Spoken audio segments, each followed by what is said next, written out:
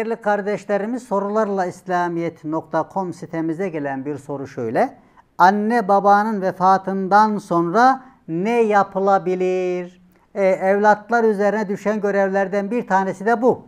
Sadece hayattayken değil, vefatlarından sonra da üzerimize düşen görevlerimiz var. Onları hayırla anmak, onlara dua etmek en başta gelen görevlerimizden. Çünkü anne baba kabir hayatına gitmekle veya yer değiştirmekle onlara karşı olan sorumluluklarımız, görevlerimiz, vazifelerimiz bitmiş olmaz. Onların temiz, güzel hatıralarını devam ettirmek gerekir. O güzellikleri kendimizi yansıtalım. İnsanları insan yapan da bir bakıma nesilden nesile miras olarak intikal eden bu güzel ve duygu hatıralar değil midir? Onun için Peygamberimiz aleyhissalatü vesselam sevgi veraset yoluyla kazanılır buyurarak bu inceliğe dikkat çekmiştir. İşte mesela nine ve dedelerle torunlar arasında bir sevgi kurulmuş oluyor değil mi? Bu vesileyle. Yani onların onlardan bize bu güzel duygular verasetle intikal etmiş oluyor. Onları hayırla anmak, sonra bağışlanmalar için dua etmek, sonra Allahu Teala'nın Kur'an-ı Kerim'de bize öğrettiği gibi şu dualarda mesela bulunmak. Ey Rabbimiz!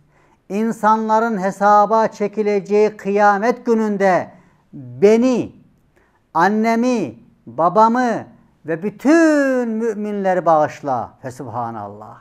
Böyle dua etmemizi istiyor Rabbimiz. Bu gibi dualarla dua etmek. Sonra bir sahabe demiş ki, ölümlerimden sonra da anne babam için yapmam gereken bir iyilik var mı diye peygamberimize sormuş. Yani hepimizin merak ettiği bir konu. Peygamberimiz aleyhissalatü vesselam dikkat edin.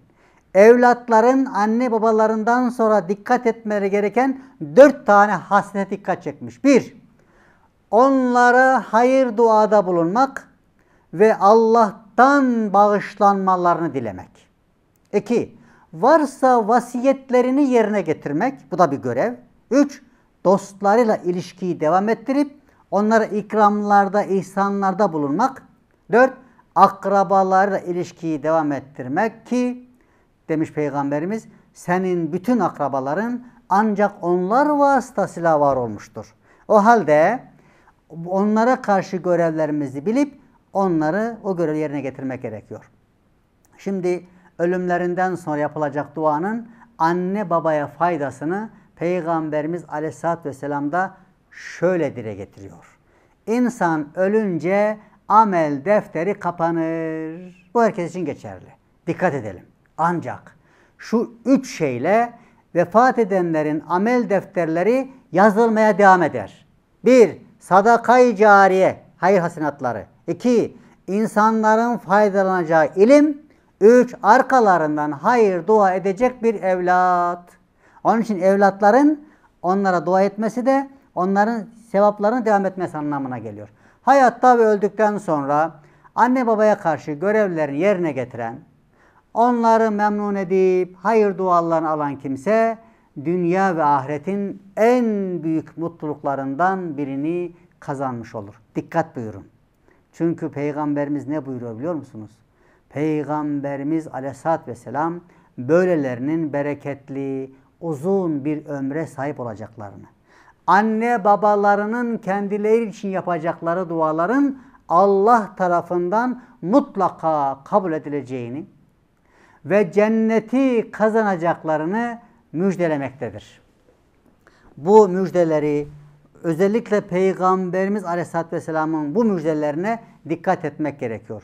Peygamber Aleyhisselam çocukların anne babalarına karşı sorumluluklarının ne kadar büyük olduğunu ayrıca şu hadis-i şerifleriyle dile getirmektedir.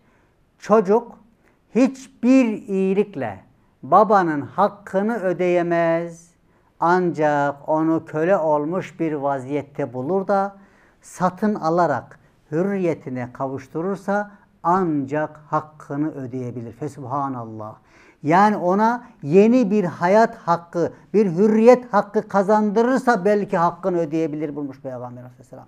İşte üzerimizde bu kadar çok emek ve haklar olan anne babalarımızı sevmek ve onların sevgisini başka şeylerle değişmemek en önemli ahlaki görevlerimizden, evlatlık vazifelerimizdendir. Bu görev hayattayken onlara karşı hürmet, şefkat ve merhamet göstermekle kendilerini, kalplerini hoşnut etmeye çalışmakla yerine getirilir. Peki vefatlarından sonra gerçek anne baba sevgisinin annemi babamı seviyorum demekten ibaret değil. Bu sevginin bir göstergesi olmalı. Demek onlara karşı maddi ve manevi her türlü görevi yerine getirmek bu sevginin ispat edilmesi anlamına gelmektedir. Şu halde hayatlarındayken onlara nasıl neler yapıyorsak vefatlarından sonra da onları devam ettirmek, onlara yaptığımız hürmet, şefkat ve merhametleri onların dostlarına, onların akrabalarına devam ettirmek de inşallah onlara yapmak anlamına gelecektir.